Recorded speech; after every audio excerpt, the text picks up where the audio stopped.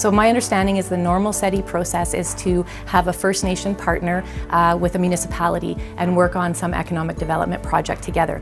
Um, our situation has turned into two First Nations, um, two municipalities, uh, a county, and uh, economic development from uh, both Curve Lake First Nation, Hiawatha First Nation, and Peterborough uh, Economic Development.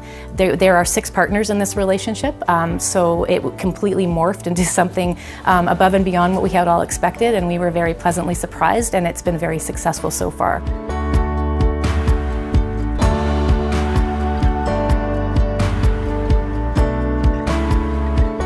As you all know, we're living in times of truth and reconciliation, and that part of the CEDI process was learning about the truth. And so uh, for the municipalities, um, extremely important for them to learn that history that they never learned in school, that a lot of us didn't get to learn in school. Um, in terms of the First Nations learning about the municipalities, there, there I think there was a degree of learning there um, in terms of you know their processes and how they work.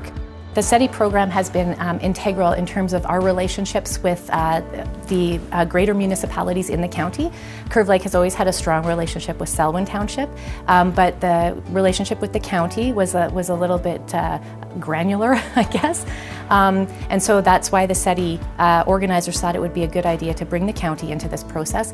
And since then, our relationship has flourished. Uh, we are on a you know first name basis. I can pick up the phone and call the planners at the county you know anytime.